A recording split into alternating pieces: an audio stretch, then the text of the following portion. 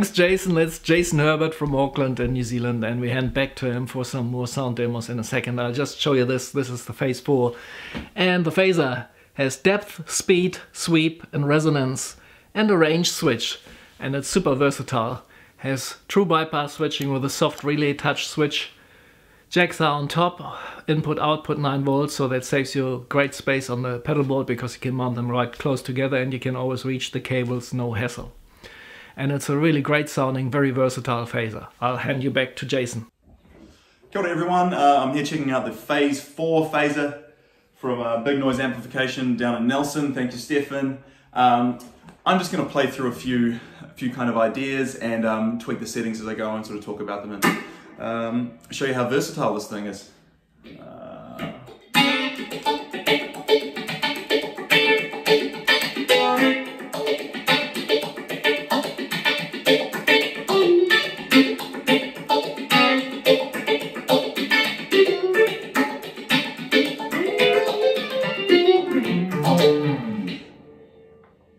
Great, a, just a great subtle funk sound. Um, if I tweak um, the sweep, so I'm going to turn it all the way uh, clockwise and get it a little bit deeper, get something slightly less subtle.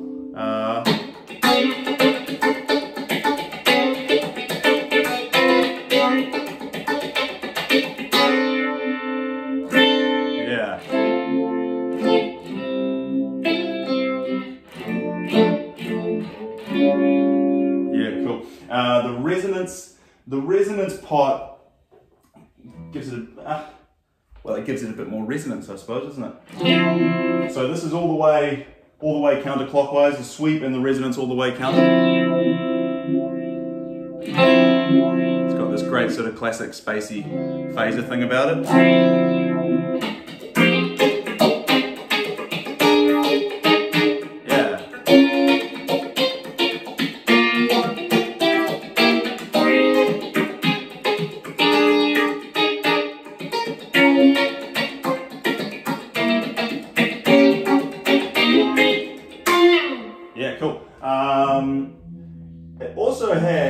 Depth control, uh, which um, I've got this set fairly high.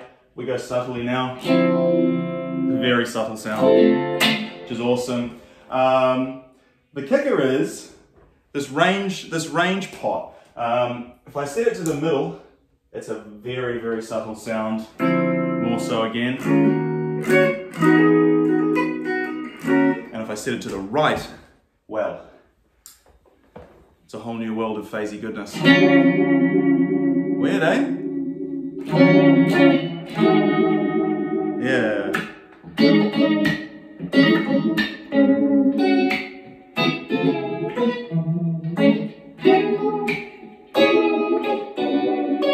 Oh, yeah. So much more along the uh, intense end of the spectrum. What if I get um, this is all the resonance.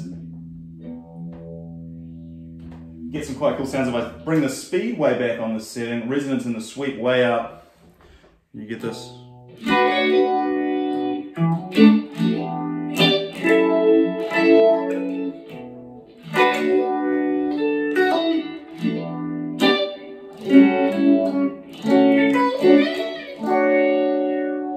Yeah, great. Uh, so let me just say Jason recorded it just with his iPhone. He promised me, Jason, if you hear this, I'm waiting for it. He promised me to do a proper recording into his computer at some point when he can. So I'm looking forward to that and I will post it for you guys. With um, Let's try with a little bit of dirt. Maybe a little bit of delay as well, because that's always nice. Uh,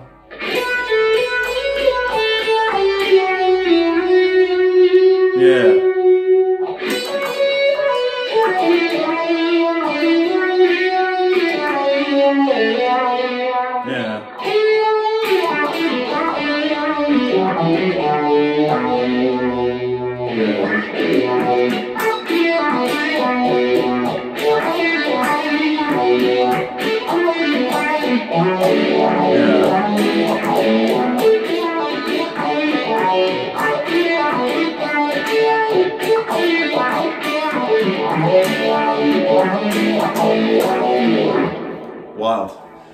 I also wanted to share my experience with with this guy here. This is an Eventide H9, which I've used for the last couple of years before that. So I haven't had a dedicated phaser um, on my board for, for ages and ages because there's a reasonably good one in here. But A being, and I will do this in a future video actually for just to, to really get my point across. A being the reasonably good phaser in this with the incredibly good phaser that is this. Uh, it's just it's just night and day. So this thing is going to have to have to live on my board now, and something else will have to make way for it. Yeah, get your hands on some New Zealand made stuff and see if you like it. I'm pretty confident you will. Cheers.